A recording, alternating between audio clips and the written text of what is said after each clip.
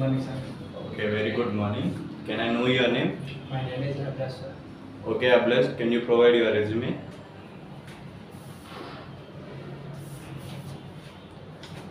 Okay, Ablas, can you introduce yourself?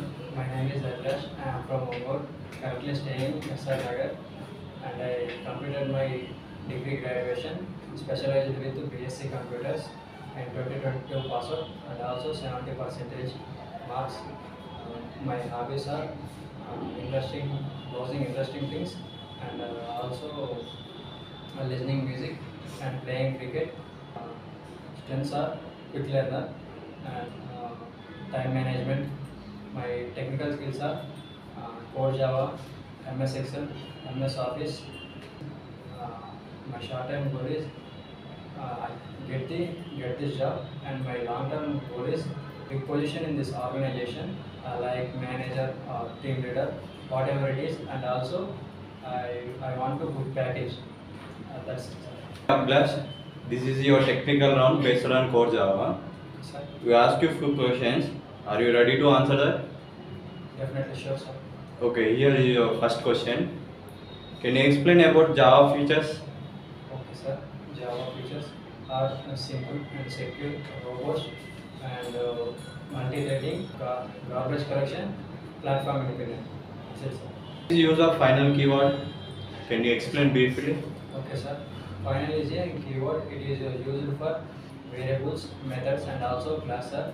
If you use it for variable, uh, if you declare with a final keyword, uh, we, uh, that final that variable is a constant fixed value, and also if you use the final keyword with a method, that method cannot be override, and if you declare with a final keyword in a class, we cannot inherit, sir.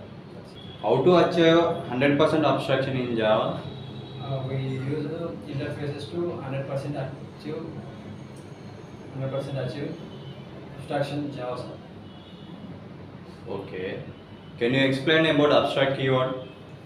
Abstract is a keyword. A method does not have any body is called abstract method. A class, one or more than methods.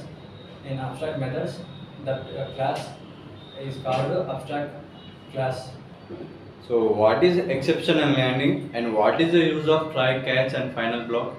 Exception handling is handle the runtime errors and uh, try try block is used for uh, put in disk code and uh, catch block is uh, used for uh, put in handle code.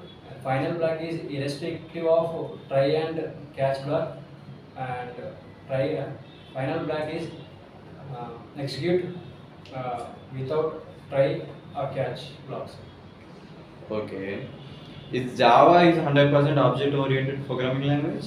No, sir, because uh, Java is depending on primitive data types. Primitive data types is uh, create and no object, sir. So, uh, uh, Java is not 100% oriented programming language, and also OPS concept is not 100% satisfied, sir, because multi multiple inheritance are there. Okay, Ablash. Can you tell how many data types in Java? Data types are two types. Uh, primitive data types are non-primitive data types. Primitive data types is byte, short, int, float, double, boolean, char, and also non-primitive data types is strings. Are. About interface? Interface is similar to a class. Interface have variables and methods. Uh, if you take a variable, it by default uh, final and uh, static variables and if you take a method by default abstract method and also we are interface implement, implement in class used for implement keyword in java uh, one or more interfaces implement Okay. Can you explain about throw and throws blocks? throw block is used for creating an own object throws keyword handle the multiple unchecked exceptions Okay, Ablash. This is your last question. Why Java is platform independent? uh, because uh, Java write once, run anywhere, and also carry the bytecode. So we are uh, tell to uh, Java is platform independence. Okay, Ablash. Can you write a program about multi-threading? Sure, sir. Well done. So you need to improve your communication skills and body language. So overall your performance is better.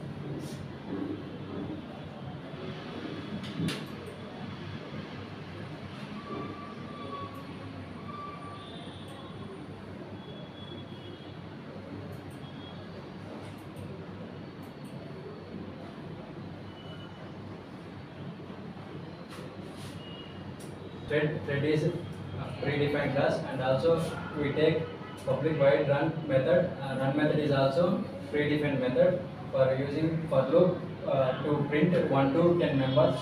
Uh, and also uh, we sleep method interrupted exception. Uh, so we put try block in a sleep method and also catch exception and uh, come to main class and also main method and- uh, RB class creating a uh, A1 object and uh, A1 dot start method calling A2 creating a uh, two uh, second object A2 is equal to new object A2 dot start method and uh, a new creating a new thread by using A1 object and call to uh, start method at the start method first A1 thread creating a new object.